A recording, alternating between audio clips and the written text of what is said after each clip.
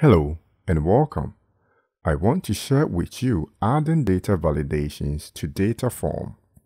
For instance, you may want the form to have one of its fields restricted to a selection from a list. Another validation could be that an entered date cannot be in the future.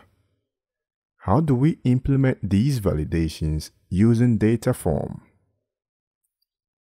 The first thing to know is that the validation must be applied to the records before turning the range or table into a data form.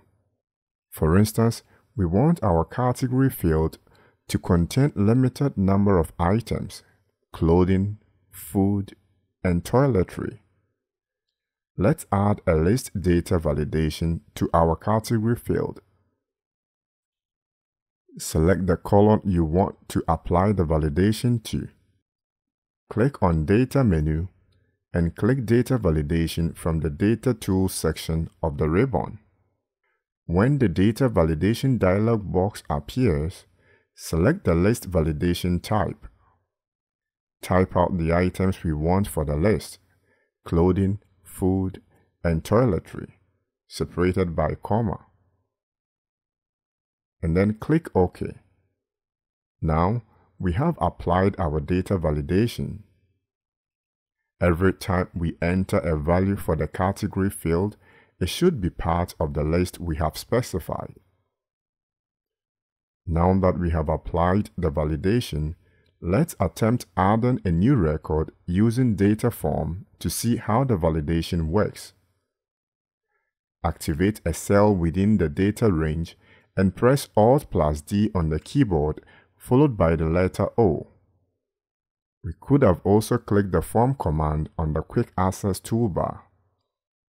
To add a new record, click the New button and type out the new record.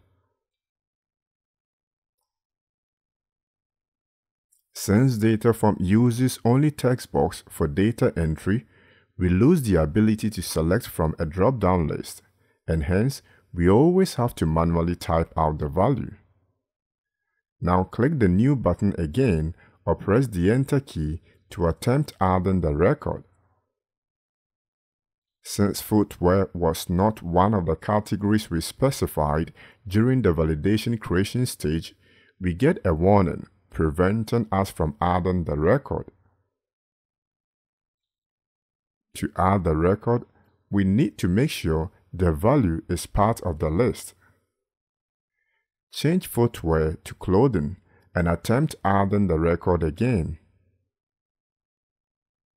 Now we've successfully added the record. Just remember with data forms, if you add a data validation that uses a different control from text box, the control is ignored but the validation is applied. Thanks for watching.